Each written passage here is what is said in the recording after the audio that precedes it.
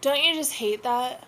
When you're sitting in a leather chair and you're wearing shorts and you're in a room full of people and your leg rubs the chair in such a way that it sounds like a farting sound. So everybody thinks that you farted. And then when you try to make the same noise again with your leg to prove to them that you weren't farting, you can't do it. So everybody then thinks that you farted. I'm gonna do more video blogs later. But right now, I want to get back to my one true love in life video games.